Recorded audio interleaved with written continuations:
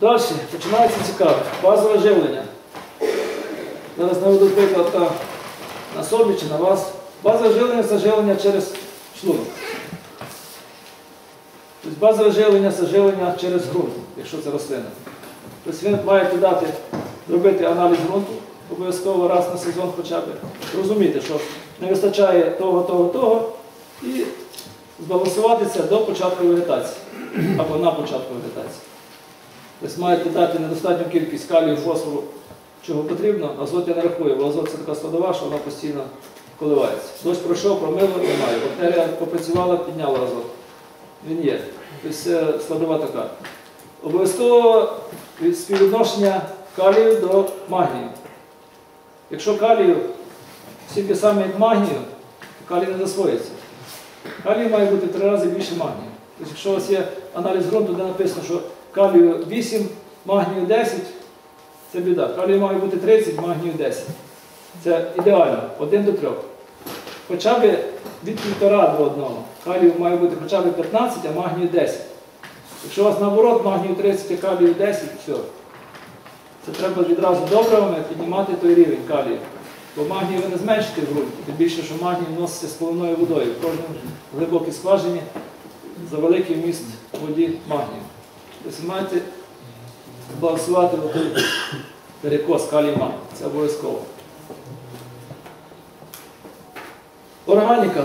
Ще одна складова така, як органіка. Органіка це так, доступ повітря до ґрунту, це мікроорганізми, які добувають рослині ті самі, той самий фосфор, який рослина не може взяти просто так з ґрунту, або може взяти тільки через е, мінералку. Але будете давати мінералку, не будете давати органіки, ви вбиваєте ґрунт. Він склеплюється, вроді чорноземи, але вони такі, що дощ пішов по коліна, та засохло і як на свадьбі. Це не працює нормально біота, немає біоти.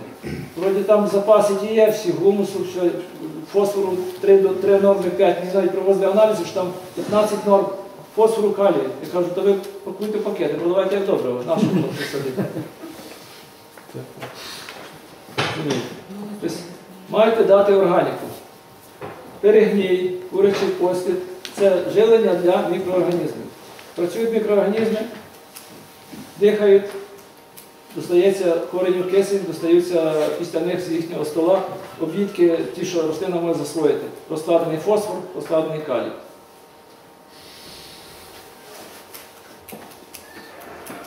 Ми завжди на осінь, чи зимою по снігу, чи ранньою весною даємо курячий послід. Не даємо перегною, тому що в перегноях може бути і ті і фітофтора, і ну, що завгодно, непонятно, що там гнило і як. Ми даємо курячий послід гранульований чи перепелений послід, півтони на гектар, по рядах прийшли, розсипали. Це базове жилення. Це обов'язково. Результати такі, що рослина на початку корінь напити в себе забирає запас, з яким вона може стартувати. Коли вона може стартувати, вона утворює кореневий волосок і далі підтягується з ґрунту.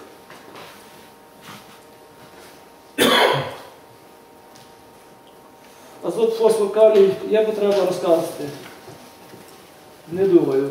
Ну, азот це ріст, це збільшення клітини, якби, ну, ріст клітини. Фосфор це корінь в основному, це енергія цвітіння. Калій е, визрівання рослини, е, цукор в ягоді і так далі. На кальції хочу зупинитися. Кальцій це такий елемент, це е, якби калій кальцій, це як магній з калієм антагоніст, так кальцій кальцій з калієм теж антагоніст.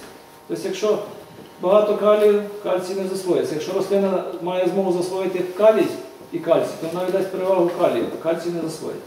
Тому треба створити такі умови або дати. Є таке поняття, чи є такий закон, що кальцій засвоюється рослиною перших 6 тижнів вегетації. Тобто, почалися плюсові температури, тільки земля розмерзлася, от починаєте відлік. Якщо ви за цих 6 неділь дали кальцій рослині, вона його може взяти. Далі вона починає засвоювати калій. Все. кальцію вона не зможе взяти. 90% кальцію рослина бере за 6 тижнів перших вегетацій. Тобто обов'язково от ми даємо так само, коли ми зготовлено, даємо кальцію солід. Там і азот зразу для старту, для розбудови кореня і кальцій, який вона накопичує в собі.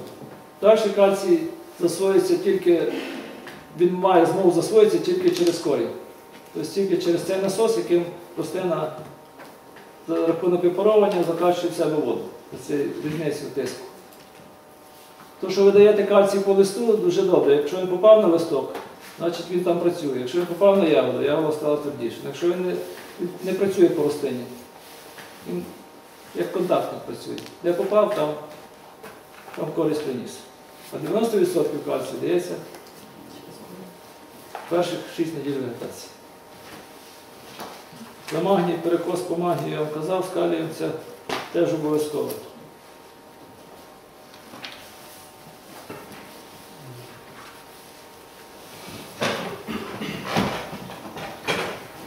Почитайте більш там подробно. Далі, після цих шести неділь початку вегетації йде період активного росту. Там ви маєте дати збалансоване живлення. Для того, щоб рослина росла, розвивала кореневу, ви маєте дати збалансоване живлення через капку. Якщо хто застосує федерацію, розуміє, що на початку травня даються вже збалансовані 18, 17, 17 чи 20 мікроелементами добрива.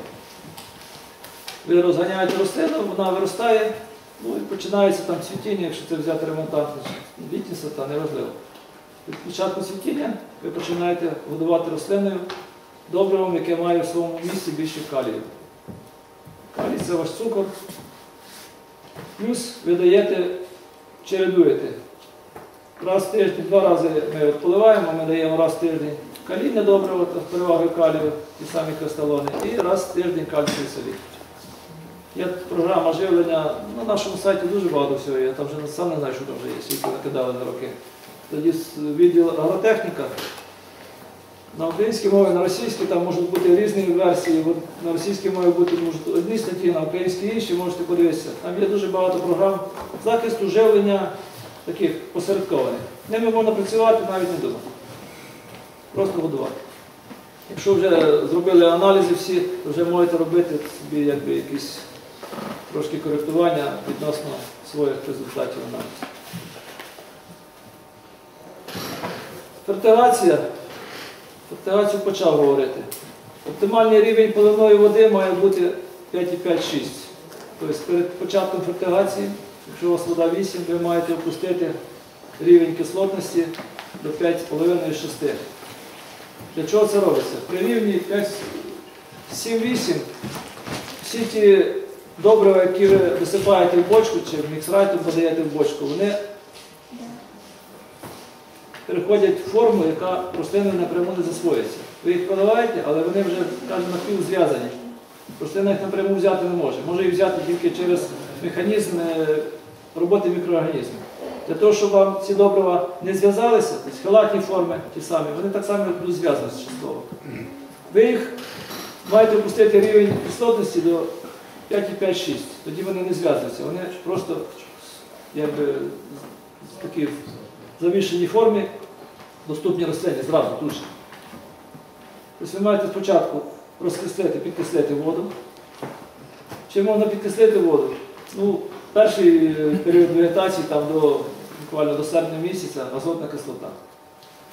Ви даєте азот заодно і той рівень кислотності зменшуєте до 5,5-6. І подаєте вже ту готову воду підкислену, додаєте добриво подаєте на повну. Ми робимо що? Ми робимо, у нас є кислотний насос, який шланг вставляється в качок 40 літрів і подає порціями через 10 секунд, 5 секунд, це все регулюється, проценти співвідношення від 1 одиниці до 100, і можна будь-яку концентрацію подати. Ми подаємо 300 грам при нашій воді 8-9, щоб збити до 5,5. Ми подаємо 300 грам води на тонну, той, 300 грам кислоти на тонну води. За рахунок цього понижаємо кислотність. Ну і тут же можемо зменшувати вміст азоту в добривах, які ми подаємо. Тобто азот ми вже даємо. Ось так працюємо. Концентрація. Концентрація добрива в воді. Це дуже важливо теж. Коли ми даємо воду з меншою концентрацією, ми стимулюємо рослину до росту. Тобто, якщо ми дали там пів проц- е, 0,5%, грубо говоря, пів кілограма добрива на тонну води, і даємо більше води рослині при меншій засоленості, то ми стимулюємо рослину до. Коли доходить період до початку цвітіння, ми зменшуємо норму води, стараємося, або даємо більшу концентрацію, даємо 1%, 1,5%, тобто кілограм, півтори кілограми на тонну води. Рослина вступає в фазу генеративну, тобто вона починає утворювати плоди. Тобто за рахунок цієї концентрації можна змушувати рослину. От під плодоносні нейтрали треба трошки розігнати, щоб вони листя виросли нове, щоб дали усе. Ми меншу концентрацію даємо більше води. Змушуємо рослину рости. Бачимо, що починають проявляти світоноси, норму води зменшуємо або збільшуємо концентрацію, просто щоб був відсоток більшої солі в поливній воді. Рослина вступає в генеративну фазу, починає відбивати світоноси, починає свісти давати плоди. Це такий нюанс, який мало хто говорить, це в малооб'ємці застосовується в субстратах, торфах таке.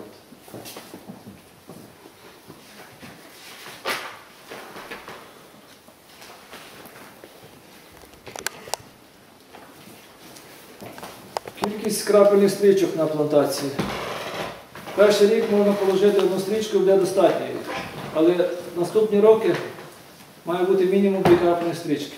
Е, Конектори чи виливи між, між відстань між виливами найкраще 2 см. Якщо є багато води, якщо є великі насоси, можна прокачати об'єм води. Якщо немає великих насосів чи мала магістральна труба, то треба зробити, щоб в конекторі був менший вилив.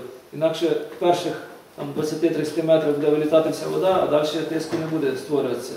І краї рядів не будуть прокапуватися. Далі у нас був досвід такий, що наш Додістон, там буквально перепад метр, може на 200 метрах. Була магістральна труба посередині і конектори були в дві сторони. І от донизу прекрасно все поливалося, а наверх, є така сама відстань, 20-30 метрів взагалі не поливалося. Прийшлося зробити ще одну лінію поверху цього склона і поливатися донизу. Обі лінії поливаються донизу. Так робили ми весь полив.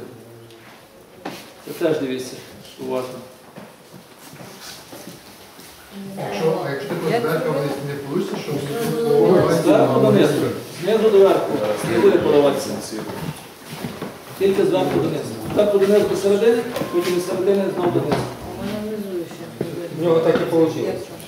Ні, я маю на увазі, якщо, допустимо, там довжина ряду там 50-100 метрів, і робимо просто зверху вниз. Вона пролиється і, і вверху, і внизу. Полиється так. Якщо підібрати правильний вилив, правильну кількість води, якщо насос качає нормально тиск, він має накачати тиск, тобто прокачати об'єм води. Якщо він того об'єм води не викачує, то як? Нічого не вийде, треба крани ставити або робити 50 метрів. Розумію? Тут відбирається або за счет магістральної труби, або за счет насоса, який дає більше об'єм води, або за рахунок меншого виливу з конектора конкретно. Вам прийдеться довше прокачати, там замість одної години можете качати три, але тиск буде всі, всі капки. Практично однаковий. Там перепад десь 15% між початком. Це нормально. Або компенсовано капель.